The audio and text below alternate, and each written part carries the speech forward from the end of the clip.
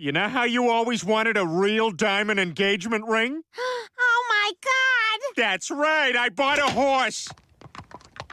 You bought a horse? Why the hell did. I didn't even give you that much money! That's what I thought, Lois.